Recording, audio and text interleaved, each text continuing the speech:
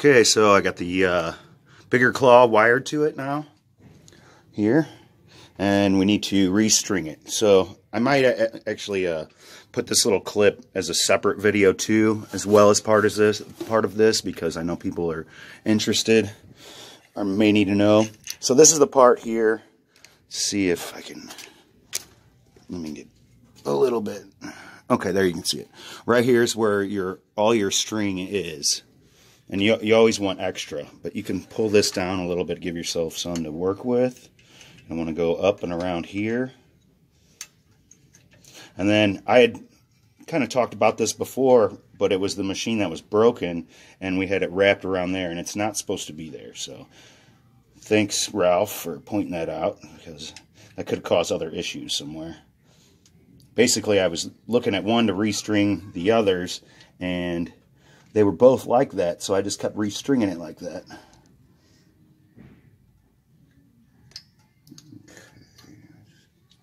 Sorry. Try to get it around here. And then back through. Okay. So we come here, it'll do that. Now we want it to go. So unfortunately, I'm a little frayed right here. Let's see if we can get this a little better in frame. Okay. Actually, I'm going to burn the end of this a little bit. Trying to get as much fray. We're going to stick her through here.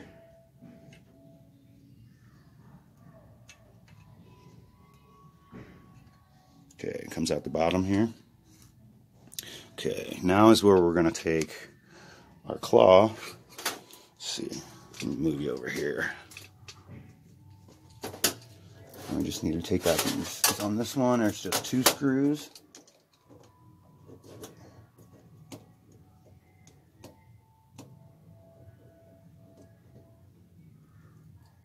Pop these guys out real fast.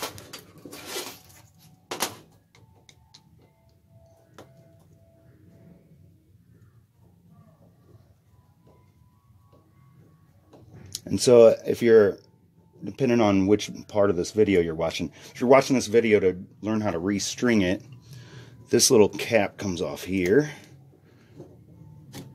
Okay, and so you really don't have to worry about that part while you're restringing it.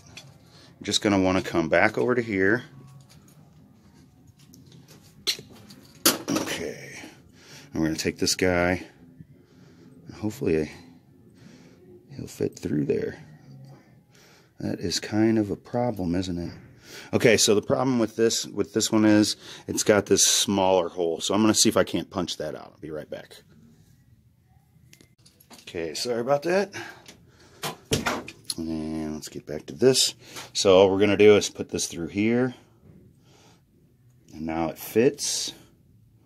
Come out the other side here. And tie a couple knots.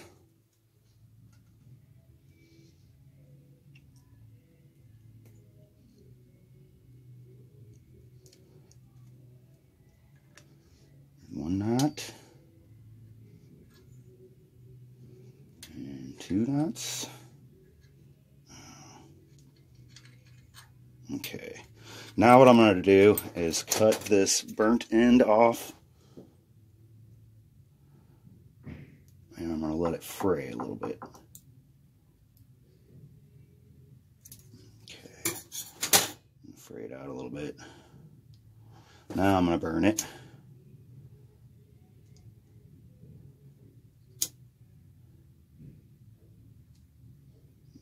Should keep it, if I don't burn myself, that should keep it from going back through.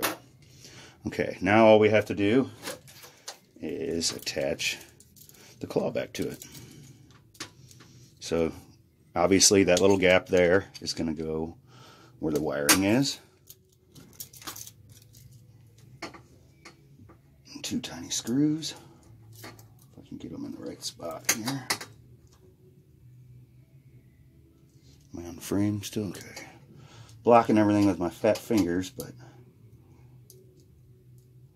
I'm sure you guys know how to screw a screw in. Sorry, I'm all shaky today. Well, every day. Getting shaky in my old age. That's why I prefer using the tripod. Sometimes we just can't use it. Okay. Screw. And I've already put this uh, cage on the back on it too. So we just need to put the uh, the other two pieces back together on it. And they are actually in the claw machine. I took them off just to see what was going on ahead of time. Hang on. I'm going to pause this while I put the screw in. This is ridiculous. Alright, so got it back together now. So this claw is going to go, the bigger claw is going to go into the Route 66 crane that we uh, we put together. So now I'm going to carry this over there and get it installed in the game. And then we'll take a couple plays and make sure everything works right. Be right back.